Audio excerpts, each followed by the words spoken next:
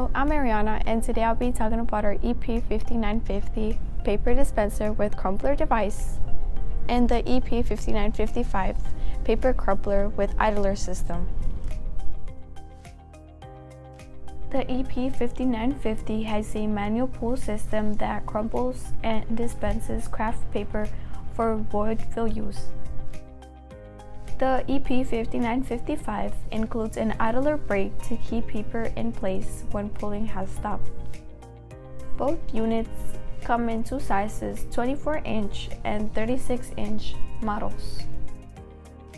The stands featured here are the EP5970 mobile floor unit and the EP5975 adjustable mobile floor unit. The units are made from solid steel and can be mounted to a table, wall, or mobile stand.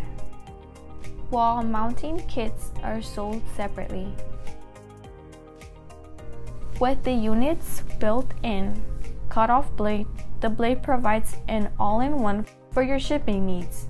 The blade is also not sharp, allowing for maximum safety and less accidents for your warehouse. Using the EP5955 is easy and simple. Just pull the desired amount of paper through the tube. Then use the blade attachment on the side to cut. Loading the EP5955 is just as easy. Simply lift the support rod from the unit and slide on your row load with the paper feeding from the back. Pull your paper underneath the pressure rod like so. Then feed it around the idler brake in the back.